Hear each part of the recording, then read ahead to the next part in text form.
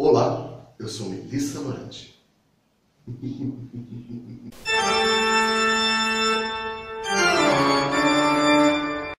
Para o vídeo de hoje é bom nós falarmos sobre algumas histórias. Você lembra aquela moça branca daquela fanfic do Vai Ter Branca de Turbante Sim, que teoricamente foi parada no metrô por uma militante negra que disse: Você, você não pode usar turbante. E ela, mas eu estou com câncer, usar turbante sim. E a militância caiu em cima dela, e as pessoas caíram em cima da militante, e virou uma briga só. Você lembra daquela história de uma youtuber por aí que cuspiu na boca do gato? Aposto que vocês lembram. A internet não perdoou e as pessoas começaram a se desinscrever do canal e a criticar abertamente a menina. Também tem um caso recente de uma coordenadora que ganhou para um menino de batom na escola e disse: Você não pode usar batom, isso vai provocar o preconceito das outras pessoas. E o que esses casos e muitos outros que a gente pode ver por aí têm em comum? Eles elegem uma pessoa como um vilão.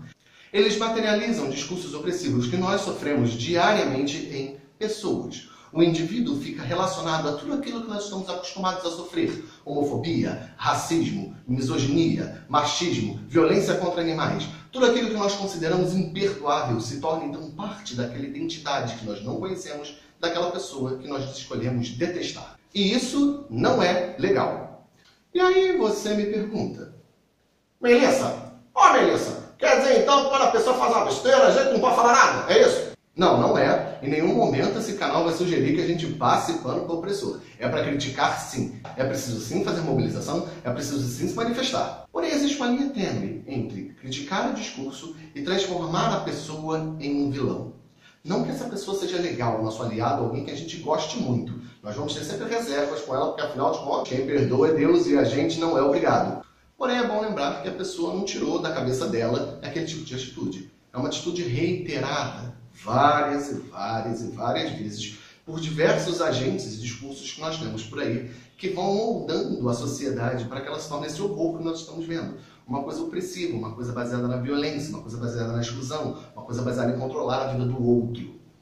E aí todos os indivíduos, nós inclusive, estamos inseridos nesse mar de merda, como eu já falei algumas vezes. É muito ruim quando nós personificamos todos esses discursos que nos fazem mal em uma pessoa, porque nós transformamos ela num discurso. E o discurso não é tangível, a pessoa é. Então é importante que nós separemos as ações entre vingança e militância. Porque, como eu falei mais de uma vez nesse canal, se eu quero me vingar de uma pessoa, eu não sou um militante, eu sou um justiceiro. Não é a mesma coisa, mas é como se, ao lincharmos a pessoa virtualmente, atazanássemos a vida dela e não deixássemos ela respirar, nem pensar sobre o que aconteceu, e transformássemos ela num agente de tudo aquilo que nos faz mal, nós estivéssemos prendendo ela num poste linchando porque roubou um celular. É muito difícil separar a militância da vingança. Porque nós queremos, de certa forma, nos vingar de todos aqueles discursos que nos fazem mal. E quando eles aparecem em uma pessoa, parece uma oportunidade perfeita para que a gente vá fora de tudo aquilo que sofremos ou vimos os outros sofrerem. Mas nós nos tornamos o que com isso?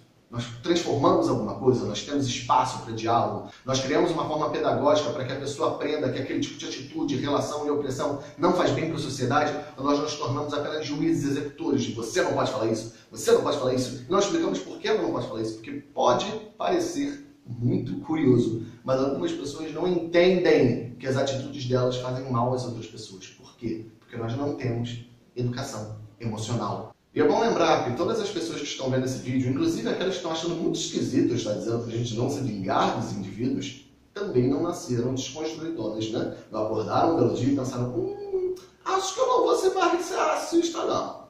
Todo mundo aqui teve que pensar, treinar no olhar e a empatia e exercitar um pouco as suas emoções para que a gente pudesse ver a dor do outro e poder brigar pela nossa.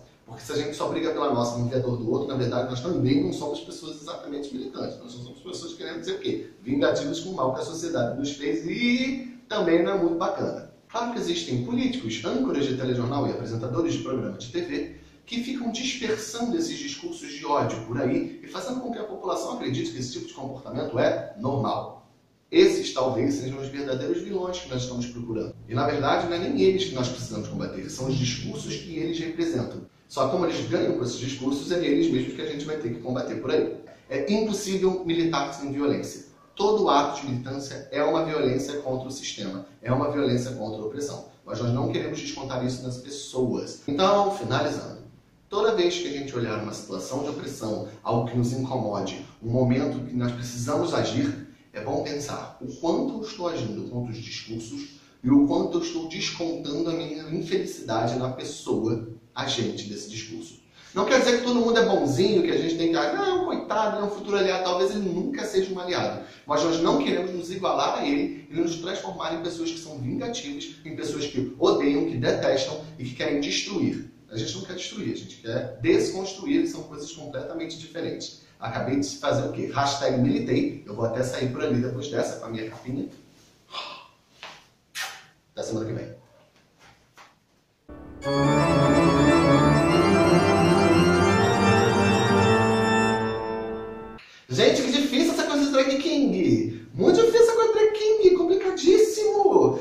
Ficar impostando a voz, assim, grossando. Ainda bem que agora eu posso falar minha voz natural, a qual eu acordo todos os dias. Ai, não quero mais isso não, muito difícil. Eu, hein, credo.